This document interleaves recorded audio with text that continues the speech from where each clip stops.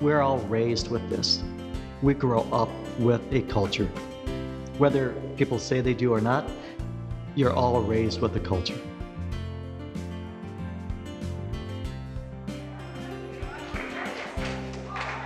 Hello, everybody.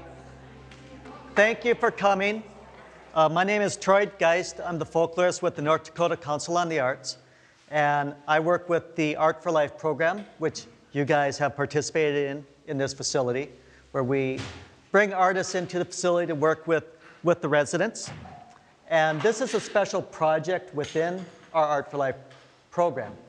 We thought, let's do something really, really unique and make something really big and collaborative where everybody kind of works together. They have their own kind of ideas to bring into this. The North Dakota Council on the Arts, we started uh, an Art for Life program. And basically, what that program is, it's a program that seeks to improve the emotional and physical health of elders living in care facilities by bringing intensive art and artist interaction with the residents. We wanted to help improve their emotional and physical health by having that interaction with artists and art activities. And it has a dramatic impact, uh, almost as dramatic on the artists as on the residents. And the great thing is, you say, do a painting with a wheelchair. What does that even mean to anyone? so there is a lot of freedom in, in, in that. So once you sit in the chair, once you sort of make that effort to say, okay, I'm going to give this a try, something magical happens. The person in the chair transforms from being somebody who is piloting a wheelchair to somebody who is really piloting a paintbrush. In a lot of traditional dances too, you've got a leader and a follower, so you're, you're being led around a room in different ways uh, within the, the framework of the dance. So uh, holding his hand and he being in his wheelchair and giving him, you know, no instruction other than you move as you want to move. I'm going to follow you. Um, I began to feel myself really in sync with a different style of movement for me. It was tradition based on traditional dance, but because of the movement of the wheelchair, and because I wasn't the leading and I wasn't making the decisions, that as he moved and we became doing some things that I'm not used to, that was also cathartic for me. It was kind of like, this is cool. I, gosh, I never even thought about this before, and it, it, it was so moving for me, really moving. This gentleman uh, that I worked with yesterday uh, was was apprehensive at first. Um, the gentleman was 99 years old, uh, didn't have any interest in in painting. Uh, he was a farmer, he was a dancer, and it, it, was after a little bit of persuasion, he decided to uh, to give it a try. And he got in there, he started painting, and he did this incredible uh, rhythmic back and forth uh, movement, like he was planting seeds in a crop. And it was it was fascinating to to see that come through. So his aesthetic, the way that he was going to use the mobile painting device, was completely up to him. The smile on the face is probably the first giveaway. You can't uh, you can't fake that smile.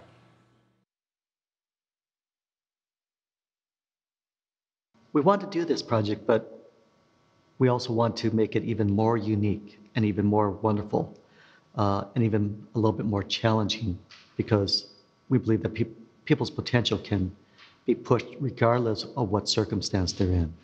So we brought together traditional artists. We selected four towns, and in each of the four towns, we'll have a different traditional dancer. In Jamestown, we had a dancer from India, Marguerite Sam. In Ellendale, we have Mary Louise Defender Wilson, who is a Dakota storyteller and traditionalist. In Enderlin, we have Maureen McDonald Hinds, who is a fantastic Irish dancer. Step if you want to make more of a statement, you just keep painting. And in Wahpeton, we have James LaRock, who's a Michif uh, fiddler and jigger. Okay, here we go. Hands up, Marge. We brought together a wonderful artist, Jeff Noctegal, who invented what is called a mobile painting device, which is basically uh, an extra arm that attaches to a wheelchair that serves as a large paintbrush. Well, we are going to hook up the mobile painting device um, to this manual wheelchair Um, the first thing that I had to do was develop a mount. I mean, you have to understand, I'm not an engineer, I'm an artist. The wheel, this is, this is actually from an old uh, uh, gate. Uh, it's a swivel uh, caster that I've attached some artificial um, lamb's wool to, so that really holds the paint nicely. Um, and just done a little bit of remanufacturing where this is now a hollow uh, tube because our paint reservoir will sit up here. Um, so that way the paint is being deposited. The reaction we get is is is always very positive. There's there's usually um, there's a lot of fear in in trying something. First thing, people don't want to get their chairs dirty. Uh, so we have to reassure them that this is latex paint. We can wash it. It will get clean. Um, and then it's a little bit of coercion, uh, that gentle persuasion, uh, to try something that's really outside of the box because a lot of people are uh, uh, afraid of their creativity. They've uh, packed it away. They believe that they're, they're not particularly artistic or creative. Uh, so this is about really reconnecting individuals with their creativity. And certainly if you're in a wheelchair, if you have limited mobility, um, you know, you become hyper aware of your limitations. We all have limitations. Um, every single one of us has a limitation. So it's not to discount the limitation, but it's to use that limitation as uh, strength instead of a weakness. Mary Louise Defender Wilson tells a story called uh, The Spider Man Meets the Giant, which is a wonderful story. And the message behind that story encapsulates this project. And the people got ready. And as soon as they came into the village, the, sen- the and they were gonna, and the giant was gonna start eating. They started their their songs, hitting their drum, singing their songs, and they were yelling. And then they were also blowing the whistle. And the giant just went into a big faint. He just stiffened out and he just fell down. So the Spider Man did something good for once. But the giant was laying there, and the people said, What should we do with him? We should get rid of him once and for all. The giant in the story, metaphorically, is anything that restricts any of us from reaching our true potential. For instance, people in a wheelchair might feel that the wheelchair is the giant because the wheelchair is confining them to that space, confining what they can do. Here, the giant had a ring on his little finger.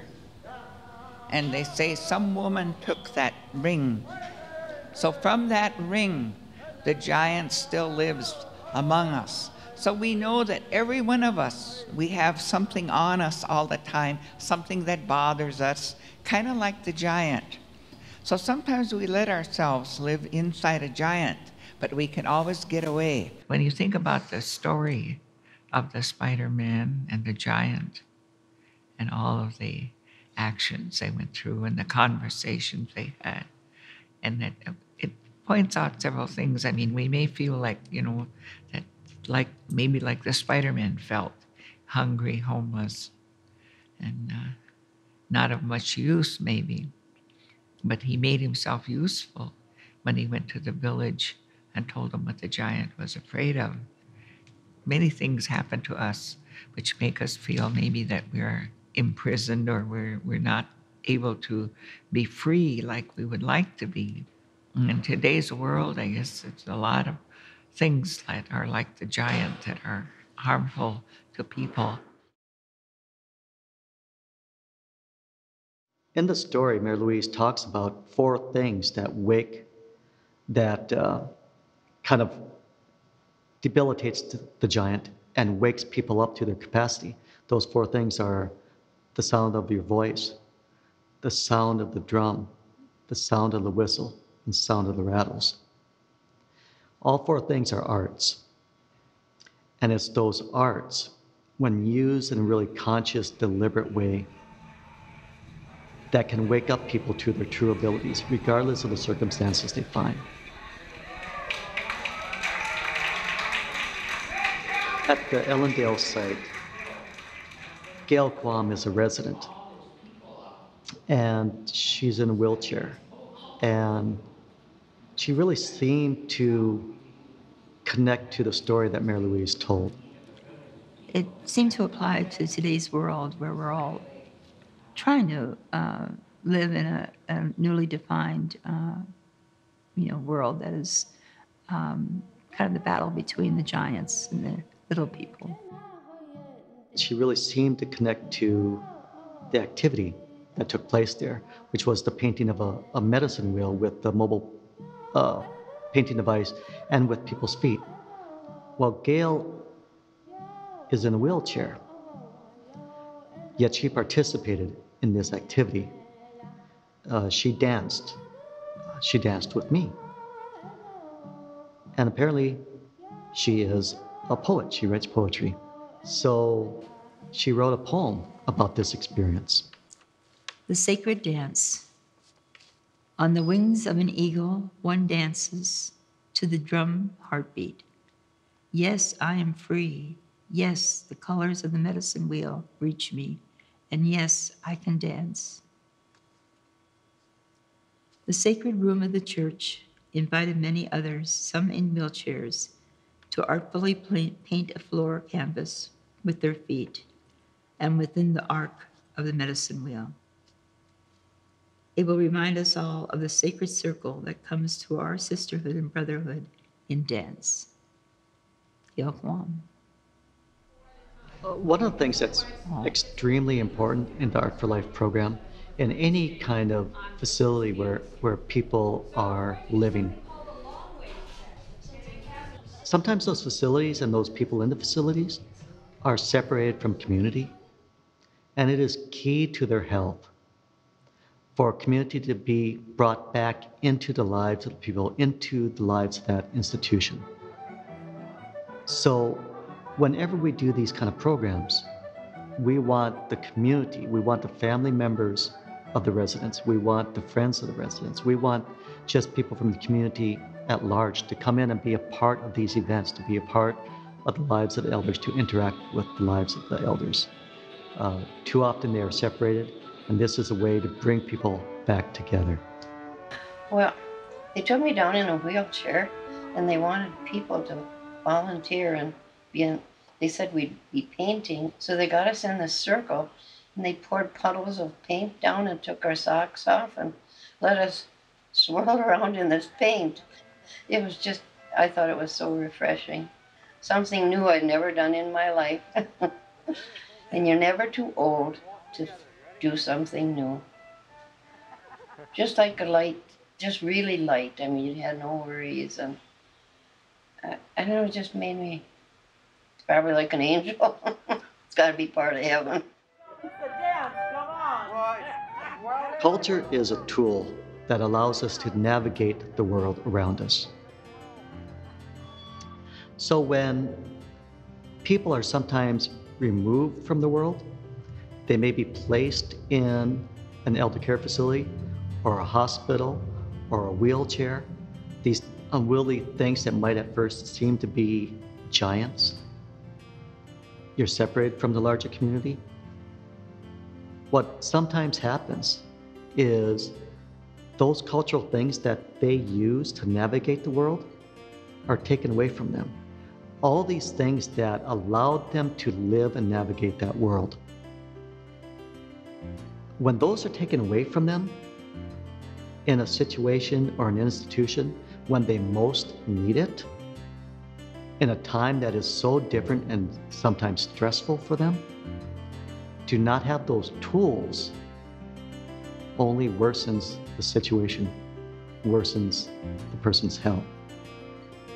To allow them to have those tools again through traditional culture, traditional arts, through other types of arts, you allow them to navigate this new world that they find themselves in.